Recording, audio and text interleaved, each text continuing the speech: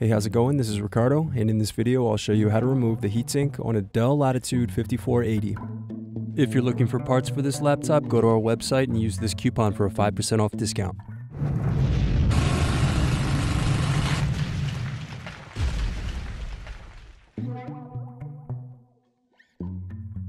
Remove base cover screws.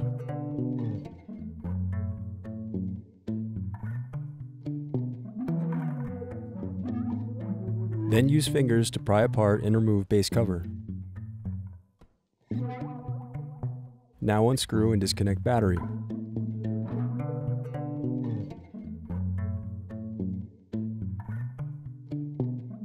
Now unscrew and remove heatsink.